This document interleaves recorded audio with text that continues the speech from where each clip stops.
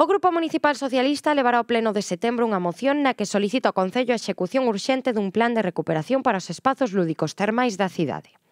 Ourense, a eterna capitalidade termal de Galicia que nunca foi, pero que todos e todas queremos que chegue a ser.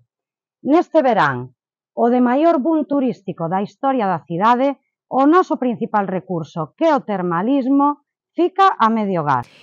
Ademais, os socialistas poñen sobre a mesa a necesidade de que exista unha coordinación interinstitucional coa Xunta de Galicia e os colectivos polo que instan a Xunta a creación dun consorcio interinstitucional de termalismo para o impulso definitivo na cidade termal, por excelencia, da comunidade galega. As últimas inversións en infraestructuras termais da cidade producíronse no mandato 2007-2015. Durante os últimos oito anos só se viñeron producindo accións para o desmantelamento dos nosos recursos e dotacións termais.